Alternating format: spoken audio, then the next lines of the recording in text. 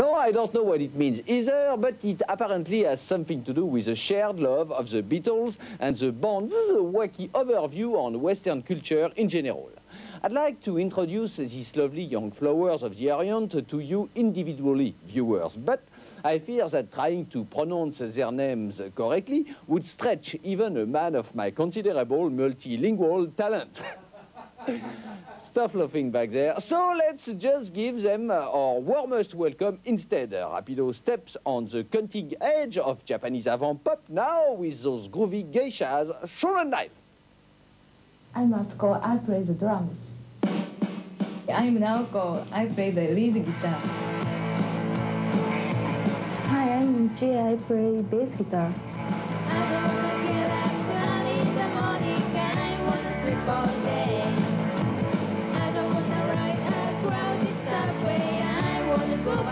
Shonen Knife are three Japanese girls who play a bubblegum pop that's made them one of the strangest cult phenomenons ever. Last year, a Shonen Knife tribute album was released in the States, featuring the likes of Sonic Youth that was in the shops before any of the Shonen Knife's own records were officially out.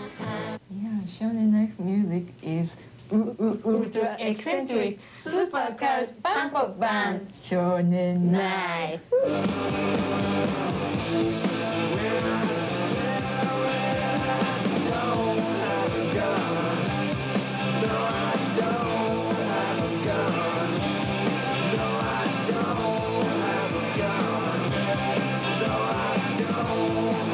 Some of Shonen Knife's biggest fans are Nirvana, who the girls supported last year in the UK.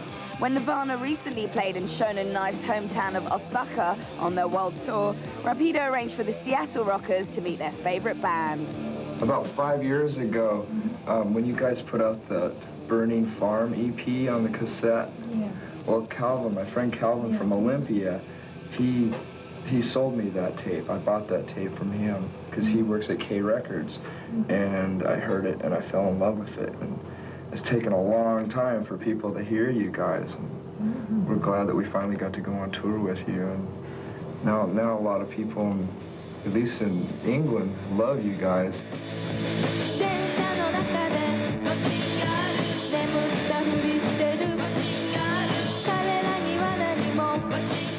Shonen Knife's first UK release was a limited edition Space Christmas at the end of last year. Currently being chased by major labels, their music won't be properly available in Britain until the spring. Until then, you'll have to look hard in import shops for albums such as Sergeant Shonen's Exploding Plastic Eastman Band Request Mono Stereo. I like the Beatles, Ramones, Buzzcocks, and XTC. Yeah, and uh, I also like uh, girls groups like Ronettes, Margaret, um, Supremes also.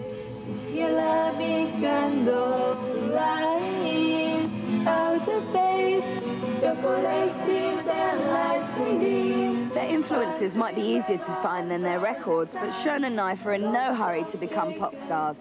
They've been going 10 years now, and to them it's still very much a hobby. Nob writes most of songs, and I, I designed a stage costume. I, I make pattern, uh, cut and sew everything.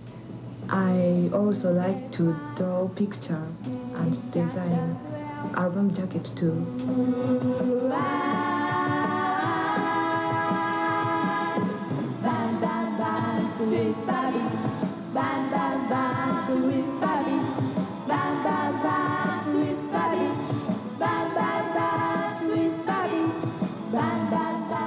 Band. Although Shonen Knife's musical heroes are from the West, their sense of humour could only have come from the East.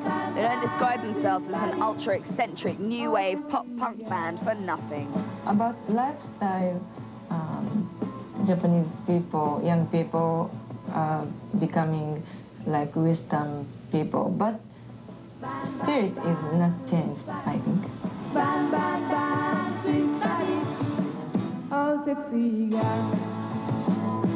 sexy girl. A sexy girl.